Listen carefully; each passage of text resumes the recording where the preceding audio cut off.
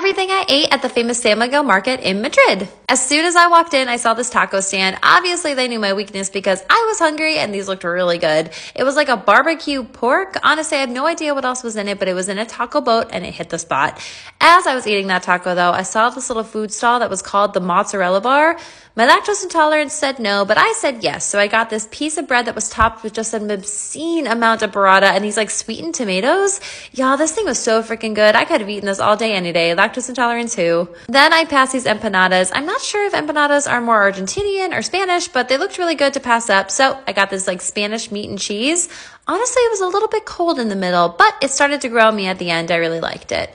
At this point, I was so freaking full, but I passed these crostini. It was like a spicy sausage with brie and peppers.